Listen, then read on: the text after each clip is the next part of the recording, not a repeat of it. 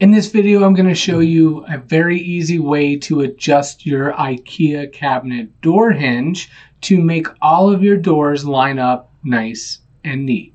Okay, so here is what your hinge should look like, and you will notice a screw right here at the front.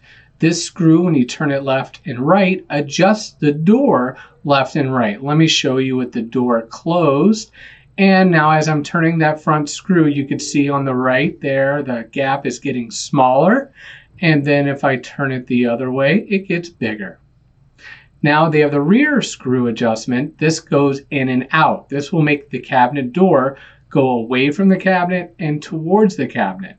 So as I turn this, if you look right here at the bottom, you'll see the door coming away from the cabinet and then I could also turn it back the other way and it'll go towards the cabinet. Now the final is this middle screw as you see here, it's going to bring the cabinet door up and down. So when I turn the screw either left or right, take a look here, the door will lightly move either down or up depending on which way I turn this screw. Now, if you have any questions about your hinge and adjustment, please leave them down below in the comments and I'll be more than happy to give you a hand.